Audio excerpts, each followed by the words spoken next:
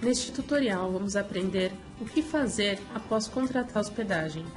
Assim que você contratar, você vai receber um e-mail, é um e-mail de boas-vindas, agradecendo por você ter contratado e perguntando qual é o seu nível de conhecimento sobre o produto. Logo aqui você vai ter uma opção chamada Acessar painel, clique nela. Você vai ter a visualização do painel da hospedagem, é aqui que todos os produtos do Wallhost estão você tem que digitar o seu e-mail e a sua senha. Caso você não lembre qual é o seu e-mail e qual é a sua senha, é muito fácil, é só clicar em esquecer a senha. Aqui você vai conseguir recuperar a senha apenas digitando o e-mail. Caso você não lembre qual é o e-mail que você contratou o produto, vou te ajudar a lembrar.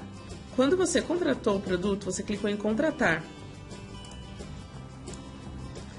Você provavelmente caiu neste fluxo, onde precisou criar uma conta de usuário e senha para contratar. Esse e-mail que você criou para conseguir comprar o produto é o e-mail que a gente está pedindo lá no painel. Voltando no painel, digite agora seu e-mail e sua senha e clique em Entrar. Na primeira vez que você entrar, vai aparecer um resumo da sua compra, qual foi o plano que você contratou e outras informações. Clique em Continuar. O painel da hospedagem irá abrir. A gente tem um vídeo explicando exatamente o que cada elemento significa dentro do painel, só que agora vamos focar no, nos primeiros passos. Clique em Configurar nesse botão laranja. O primeiro passo é escolher o domínio do seu negócio.